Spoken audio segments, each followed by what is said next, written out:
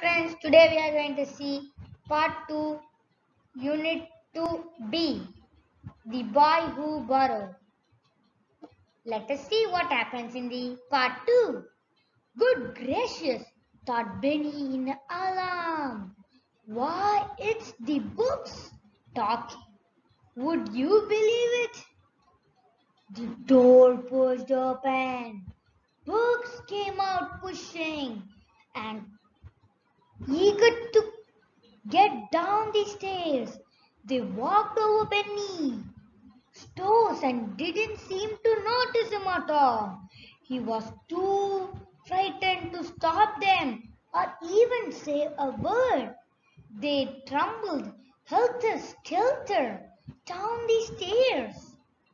They went into the little room of the and found the open window. When there was a silence, Benny went back to bed, trembling, and he didn't like it at all. He fell asleep, and when he woke up in the morning, he laughed.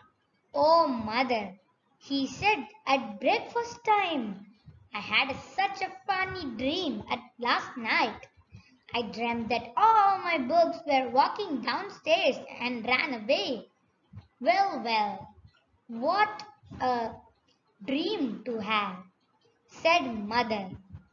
But do you think when Benny get to school, his school books that morning, he found his bookshelves quite empty except for his own eight books.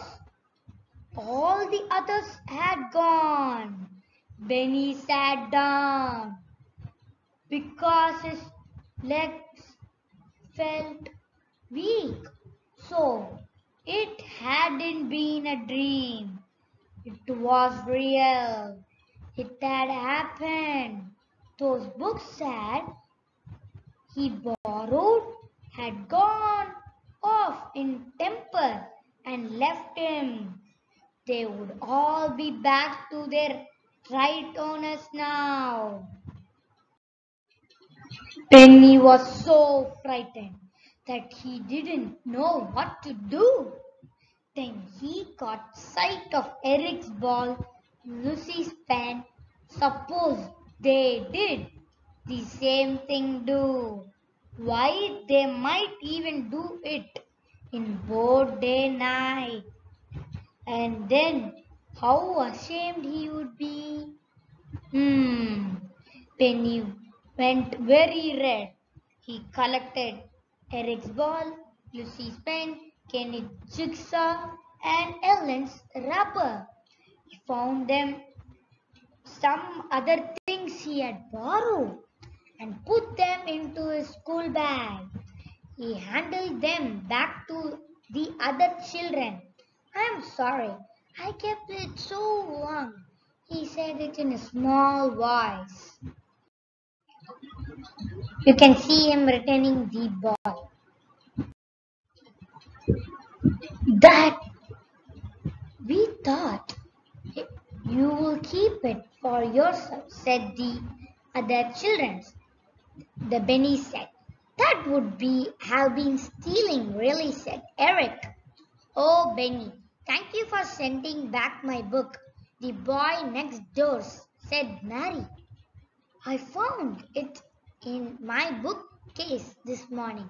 Benny started at her. Good gracious. So her book had managed to find its way right to that empty place in Mary's bookshelf. The others told him that their books were back too. I shan't borrow again unless I give back very quickly, thought Benny. I wouldn't like this to happen to me again. I wouldn't like it either if I borrowed and didn't give back.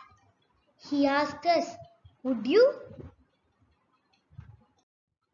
Thank you, friends. If you like this video, please subscribe to my channel for more videos. Bye, friends.